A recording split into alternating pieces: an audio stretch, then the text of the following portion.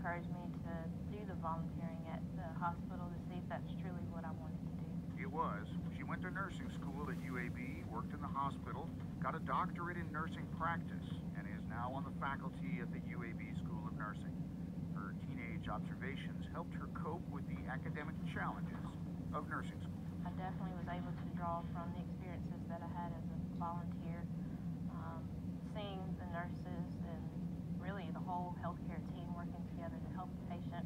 I know go through similar academic challenges as well to get to where they were. So that really did help me to know that they were able to do it same. We have a lot of.